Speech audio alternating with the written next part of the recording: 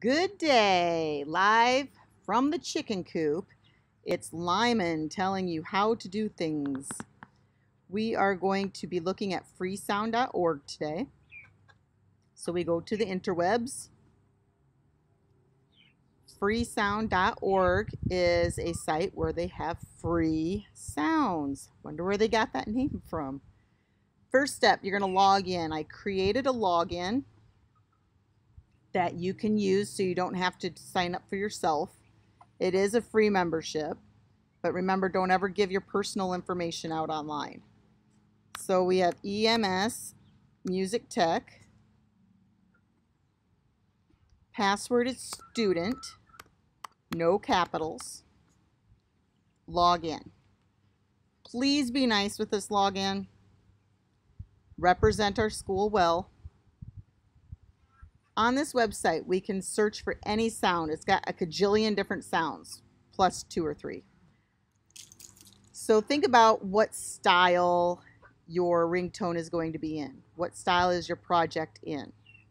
Maybe you have hip hop. Maybe it's classical. Maybe you need a dog barking in the background, or chickens chirping, or roosters crowing, which I'm sure you'll hear.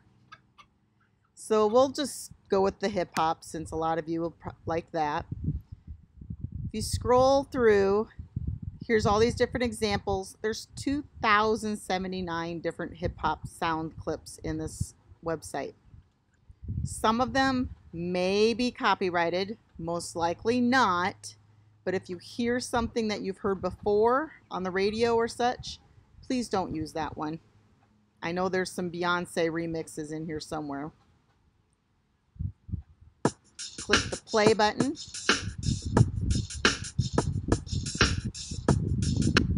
Just go through. Go through the different sounds. Find one that you like.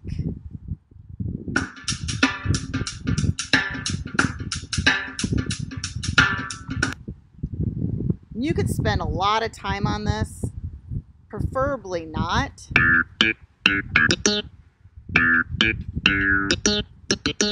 So when you find one that you really like click on the title. Right here, it will tell you what type of file it is and what the size of the file is. You're looking for one that is an MP3 or a WAV. That will be the most common ones that you'll be able to use. Sometimes the OGG, yeah, you know me, files will not work.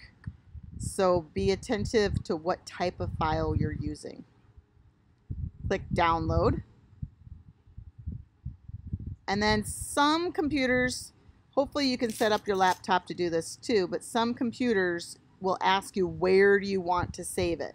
I have that set up on mine. If you do not have that set up on your laptop, it will automatically go to your downloads folder. Let's create a new folder. I'm going to title this DMP. So everything that I save for this class will be in my DMP folder. Please do this. And then I click save.